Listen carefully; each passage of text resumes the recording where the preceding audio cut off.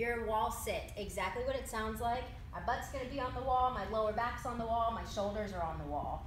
Full range of motion wall sit, all of those points touching the wall, but my hips are at a 90 degree, my knees are at a 90 degree. This is full range of motion, no need to go any lower than this. But if you have to modify, all you have to do is pop up a little bit in that wall sit to take some of the pressure off the quads.